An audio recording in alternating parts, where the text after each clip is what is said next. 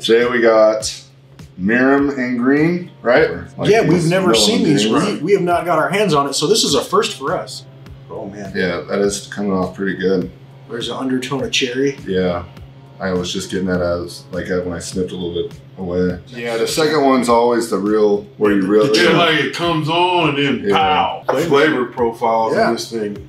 I'm really enjoying this. Yeah, it's impressive. Get forgotten up here. You gotta right? remember, No. like when you tell people you live in Alaska, they're like, "What country?" You know, like, really, that port wine is still that port barrel is still heavily. Yeah, it's you Which is are. If you are looking for something that's interesting and you want to rye, this is a bucks. this is a great one that you could you know Mhm. introduce somebody to. like gone on a, like a spoiled, like a rich kid's journey through whiskey. Dude, I was drinking ryes in the summer though, just because I love ryes. he's, yeah, he's weird.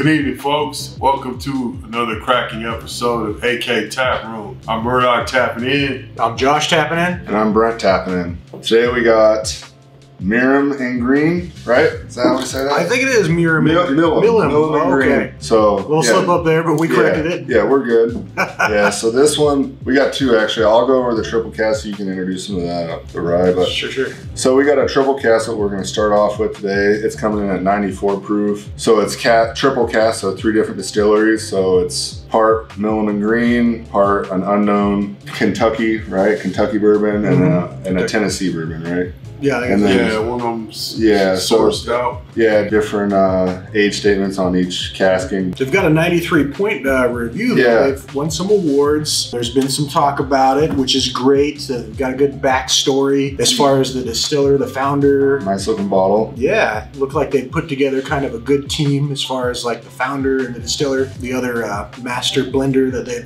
have helping out. So, uh, and they're in Texas, right? This Yeah, they're Texas. based out of Texas, Blanco, Texas. Yeah, Yeah, So- what was really impressive to me is there's three women exactly. that Right. run this whole Yeah. deal. right. They're And charging. so we'll know- That's awesome. Yeah. yeah. it is awesome. But if it's if it doesn't taste good, we'll know why. I'm just kidding. I'm just kidding. I'm just kidding. Most No. women know how to cook Yeah, good. that's, I did. Want, I did read a thing on uh, one of the the master distiller Heather Greene, and she definitely has the pedigree, you know, Yeah. to, Yeah. to distill or to, Glenfiddich. Is to that where yeah. she she- I think from? she started. Yeah, she was in Scotland with Glenfiddich, and Yeah. And probably worked some other places that I didn't read about, but But it's impressive just in and of itself because the whole area is usually dominated. It's male dominated yeah, yeah. area. So if you're going to carve out your name and You got to be good. you got to be good, and obviously they won awards. Yeah. What's the price point on that? Oh, quick? this one is forty bucks. and this one is 45. So this is a rye finished in port. That portwood is going to be friggin' so good. I can't wait. Yeah. Um, I really like the sweet influence that uh, port gives, and I'm assuming it's going to be a really great balance. And you can look at that color. Yeah, it Just- looks. Yeah, Yeah, it you, looks really you can see. cool. You can see that this is your definite whiskey bourbon. And this is coming in at 47 ABV, so 94 proof. It's coming in at 94 proof. I mean, I really kind of like the ornate. Yeah, that's what I writing was saying. And that one's a 93, and this one's a 97 rated. So they've got really great colors. And weren't you saying non-chill filtered? Yeah, they do stress that they're non-chill filtering, which, Which is is, great. good. Yeah, Yeah. For, for a small Exactly. distillery, like a Mhm. craft, if you want to call it a craft distillery. Absolutely. I think You they're on a, a smaller level, which is good because they could probably pump in a lot of that passion. Not that you couldn't on a bigger level, but this is just, I mean, the packaging And they do. They've got looks pretty impressive. And coming from this from Scotch whiskeys, they import or they don't import, but they take they import the idea of independent bottling. You know, like you can Scott like I seek out independent bottle Right. where they where they're buying a cask, a barrel from some other distillery, Mm-hmm. bring it to their warehouse and do what they want with it there like that, like Absolutely. finishing it in a port barrel. Absolutely. You know? Which is great. I mean, like I said, you're going to get, rye is always always have a unique balance on how the, the master blenders uh, try to you know balance that. So Yeah. it's always a unique challenge. And that is an unknown mash bill. yeah, it's an so unknown mash bill. We do know that This it's at one- least 51%. Yeah, at least fifty one percent. But that's pretty interesting. So you got forty and forty five dollars. Just a side note, where do we get these uh, lovely bottles? Yes, we got these from a real good friend of the channel. He actually hooked us up with six bottles, which blew our minds. Shout Absolutely. out. Yeah, shout out, man. And they, they, they were sourced from San Antonio, so they come from the state that they're bottled in, at least. Yeah, we really So, appre- appreciate you. Absolutely. We definitely This was a very kind gesture. Yeah, I'm- I 'cause was just, We've you know, never. we're a new channel and yeah, somebody doing something kind like that. yeah, it's, awesome. it is awesome being Yeah. new and small, and and Yeah. some bottles that we've never seen before. Like yeah, we've never seen these. Greens. We, we have not got our hands on it, so this is a first for us. We've never had these, not months prior. I mean, this is you're going to see it unfold Yeah. as you should. So, with that said, we're going to start with this bourbon. I'm really excited about this Cool. one right here. Yep. So, this bourbon, the mash bill is what 70, 22, and 8. Yeah. So what's that? 70 corn, Yeah. Yeah. 22 rye, 8 Barley. barley. Yep. Yeah. So, And all they were sourced in the U.S. too. Yeah. That's this one. yep, Yeah. that's that uh, that bourbon This is a triple cask version, folks. right there. Oh yeah, And I you can can get the that. oils on the stick into the glass. Oh yeah. Oh yeah. I get that oak. Yeah, that oak hit Yeah. me first. And the sweetness. It's like Vanilla. Vanilla. Yep. Oh man. Yeah, that is coming off pretty good. There's an undertone of cherry. Yeah, I was just getting that as like uh, when I snipped a little bit away. It got like a little bit like a grass hay, a little bit. that right? yeah, because it does have 22% rye in it, so you're gonna get a little bit of that. Definitely smell the fruitiness. Yeah. Yeah, that sweetness. Oh man, this, Yeah, it smells I'm really ready. good. Let's go. syrup. Let's Yeah, go there in you for it. You ready to go? Yes. Let's get to it. Man, this easy drinker. That's a real easy drinker. Wow, you, you on the aftertaste, you that heat that really pops up there. I gotta go in for a second. Yeah, the second one's always the real where you really. Yeah, like it comes on and then Yeah. pow. Yeah. Yeah, and that's always your first drink where you're getting that heat. The second one gives you the real. the flavor after it's been aerated. So I Mm. like it because it's got a nice uh, that rye just kind of So- starts to come up and it just tames right away. Like yeah, right I get that hay, and then it turns into oak. With it turns into like a sweet, almost like a honeyish type sweet. It's like, on that not- precipice of like brown sugar slash Yeah. not quite rich honey, Yeah. but like almost honey. Yeah, right. I get that. It's like exactly like that sea of rye is coming. hmm That oak, that sea Like of you rye, said, when it like you gets pick that rye up. That rye Mhm. doesn't have to have a lot. Pick up This some of tastes very, very well. hmm It's nicely balanced. I mean, like I said, they've tamed. They've You can tamed. it. taste all the different Flavor. flavor profiles Yeah. in this thing. I'm really enjoying this. Yeah, it's impressive.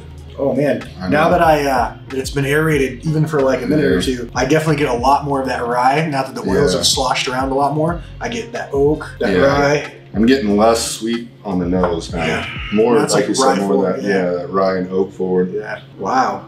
It's interesting how much it, it changes once those oils get all around your glass. Man, Yeah. how come we don't have this stuff here in Alaska? What the hell is really going on? I've never heard of this. Dude, we get It's great. I'll definitely buy it. We get forgotten up here. You gotta right? remember, You know? like when you tell people you live in Alaska, they're like, "What country?" You know, like, you know. So the fact that we get anything, Shit, well, we kind of close to Russia. yeah. so- So you know, they're like, "Oh, how do you?" You know, or if you have like a one of my stepsisters asked how I drove here, you know, like because she's seen it on like In- in on a car? like on a flat map. yeah. You know, it looks like an island because Canada, they don't include Canada on the US map. And so she thought it was an island. And she's like, How'd you drive there? And I was like, You better return that degree. You Yeah. know, like- that school district. yeah, so this being a small distillery, I like that The term, craft. craft, like a craft distillery. Well, I feel like they're able to get you're so much more hands on continuously at every step of the way. Not that the big boys aren't every step of the way, but I feel like this has got a great mass appeal. yeah, It's no got a great mass appeal. And the price point. It's got good Yeah. price point. So, and It flavors. tastes great. It's got a So, commercial taste. Ever since I seen that and read that it was uh, rye finished in port Mhm. for 45 bucks, Mhm. I like this one is one I'm looking forward to because the only other one I've had is a Midwinter's Night Dram. Which is fantastic. Yeah, but there's a huge price point difference. Three times the price of this. This could be So- a daily And, it's, go. and Midwinter's Night Dram is not readily available. Yeah, and that You're one limited is, release. And I shot four people to get it. Yeah. So I'm just kidding.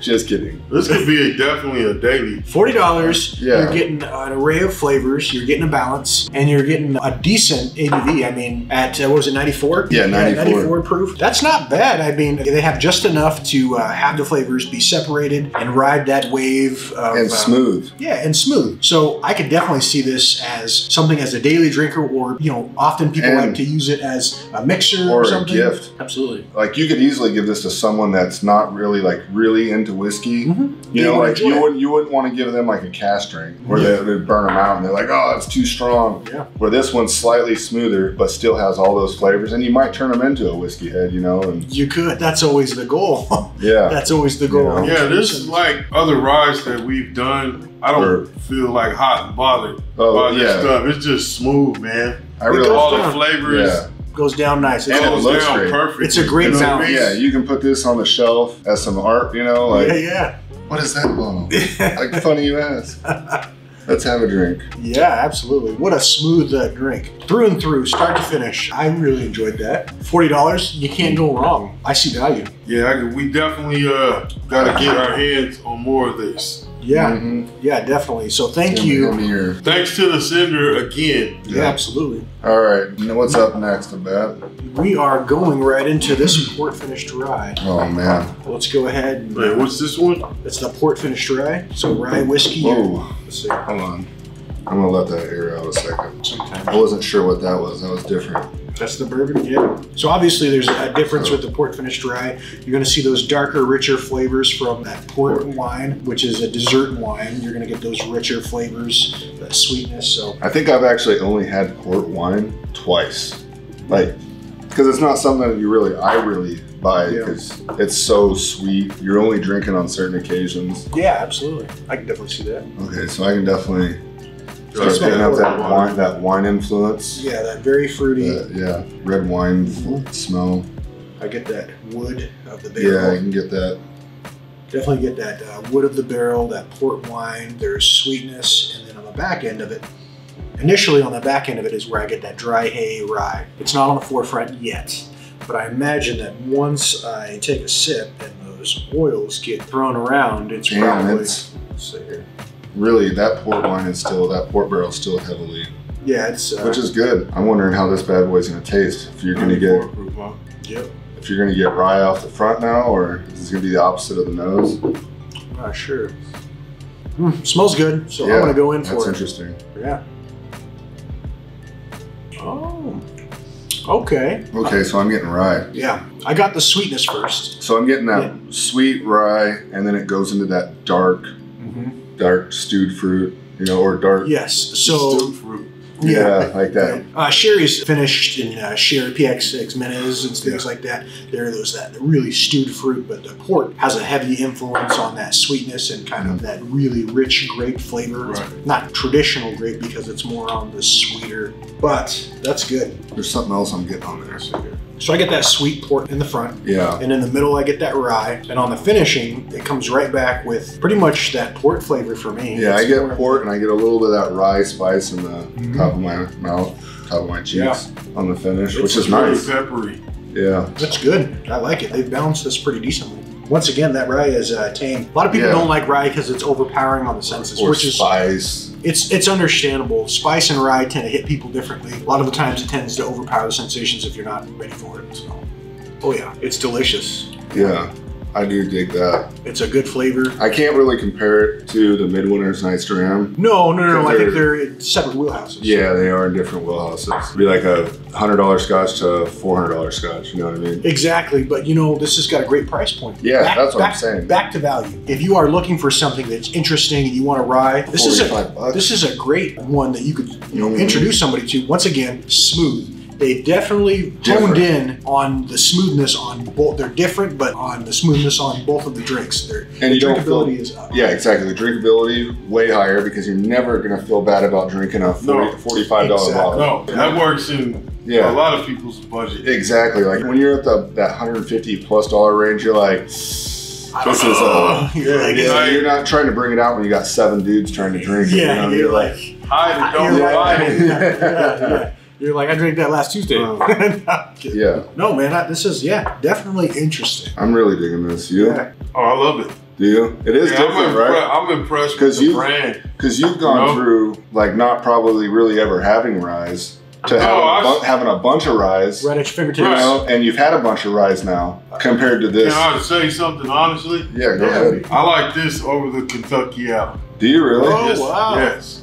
See, I am Murdoch's like gone on a, like a spoiled, like a rich kid's journey through whiskey because he has like he has at his fingertips like hundred plus dollar, like a lot uh, of hundred plus Uh, dollar. that was uh, that was a three. 350. Yeah, that was that a was three batch number four, I believe Yeah, so. the last right? ride. It- yeah, it was. Uh, it was. This tastes better than I'm just saying he has his fingertips on a lot of high end whiskeys and ryes, he likes this. and and he's still digging this one. So that tells you yeah, how this stands. exactly. I like it. Um, I don't I like do it too. more than the Kentucky Owl. However, Yeah. I, I do. Yeah, But that's I- onto its own. But I do like this. I like the value of it. I like the display of it. I Mhm. like the flavor profile that they have. Now that it's opened up a lot more, Yeah, it is. I get uh, I get rye and then I get that sweetness. But the good thing about it is So- they've honed it to where that that port has not Oh, right. overpowered the rye, and the rye has not overpowered the port. now I'm getting a lot more of that hay rye Yeah. on the palate forward, and then straight into that port heavy, Yeah. which I really like that. I like to get that little rye taste, and then it switches gears into the you know the dark fruit Mhm. port. I like the balance. you with that. I really like the balance because I feel like the port is not overly porty. Mhm. The rye's not overpowering the sensations. So overall, good value, good drinker. I Yeah. say this is a win for all of us and for all Yeah. the viewers. I would definitely, if I came across it here in Alaska, would go and buy both Yeah. of these bottles. Me personally. Oh, another thing I was reading is they also have a single barrel,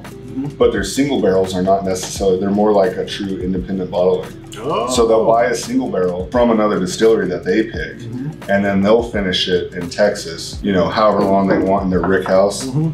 So they'll move it from say Kentucky, Tennessee, Yeah, Indiana, down to Texas where it's getting hot and cold. You know, Well, the, yeah, depending Yeah. on where te- in Texas where you're at, if you're yeah. centrally located, north, Yeah. south, you're You getting have a lot of You could have a 50 degree swing in temperature. exactly that Yeah, variant, Texas is very humid And yeah, at which is certain times, you know. which I think is probably playing Hot too. playing up to the strengths of Mhm. having these, you know, having a distillery there, you know, being able to to really dial it in with Yeah. those barrels and have it expand and pull in these uh, flavors or pull out the flavors, I should say, of the barrels and stuff. So hats off to you guys. Yeah. Overall, what a great good drink. job, Nolan Yeah. Green. This is Great, great. yeah, I, I really This would like delicious. to, for one day, AK Tap Room to visit the facility there. yeah, that'd be cool. On going a, a tour and Yeah. you know see yeah in Texas. how they go about. Be great. Maybe sometime in like January or February or March when it's Right. we're really tired of the snow. Yeah. and then we can, yeah. Yeah.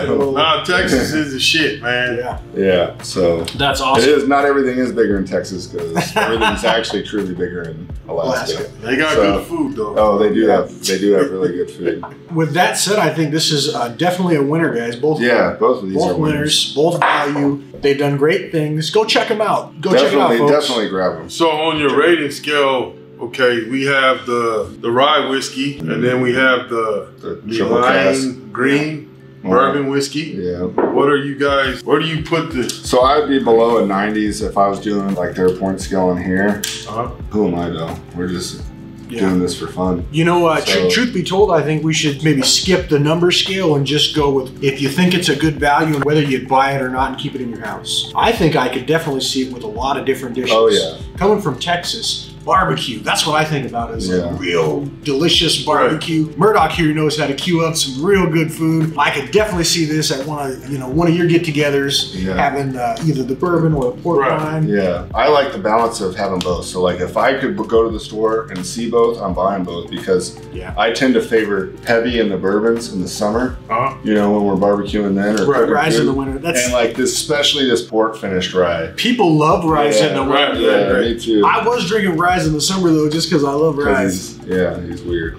I like it. I love You know, to me, what's special is the price point. It is. That's Right why. here. Great I value. would buy. Great value. I would easily buy if I could, probably two of each. That way I have a backup. right? Because here we don't know when we're gonna see it again. Exactly. You know, like a Boone and Hobbin 12, I bought two of them. Why? Because I did too. I want one that I can drink If you're out going of. to 10, you buy two. Right, One to store, one to pour. That's Yeah. that's what I and do. then and then you have a backup because what I think we went without that, which so that was a like a whiskey that was extremely common Uh-huh. and then disappeared and It you did. couldn't find it. yeah, we had you know. movement. So So that that's why we do I do yeah. it that way. What do you think, Murdoch? I just like Overall. uh, overall, I'm really impressed, man. The story of these women, you know, in a primarily Yeah, male. male-dominated industry, Absolutely, they've carved out their way. but one of them is a author, a musician. Oh, that's right. One of them is in the film festival industry. Nice. I cracked it open in Texas, That's awesome. and they have a lot of females working That at is- the distillery there. that is awesome. So it just goes to show, man. I mean, Paving if the there's a will, there's a way. It doesn't Well, matter and what they- they. Well, and they're you carving know? out their way. That's definitely Yeah. leaving their mark And- on this industry for sure. So good on them. And absolutely. women know what tastes better, man. Ah. you know,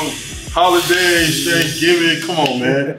Keep it real. That's Desserts. So It's whenever I tell her it tastes good. I'll be like, hey, when I gotta say something I prefer over Kentucky Owl Rye, that being three hundred and fifty dollars compared Of to yeah. something a lot cheaper. This is a daily. Drinker. Very impressive, He's a man. good drinker. I'm Yep. impressed with the whole pedigree I that am- we've had right I here. am too. It, it's a great No. drinker. So, So- overall, it sounds like we're all yeah, we're Win, all win, we win, all win. really like we're this. all really like it. We all see the value. Yeah. We all would have it on our shelves. yeah, without a doubt. And shout out to the sender again. Thank you. Thank Should you so much. name? No, he No, has no. he has to To just say anonymous? yeah, he has to just say a friend of the channel. Yep. And So- then we'll, we'll leave it at. That. Thank you very much, sir. But he did straighten out for one thing. We gotta us. get him to Alaska though to come out sometime and hang out with us maybe Might next be too summer. cold for him. Take him uh, halibut fishing or, or salmon fishing or something. One of Something. these Yeah, days, we'll work it out. Well, with that being said, let's go ahead and wrap this video. Yes, sir. Hey, thanks for viewing AK Tap Room. I'm Murdoch tapping out. and It's a wrap. I'm Josh tapping out. And I'm Brent tapping out. And as always, like, subscribe, hit that follow button, tell your friends. Send us stuff if you'd like. We'll drink it and review it. Yeah. Until next time, cheers.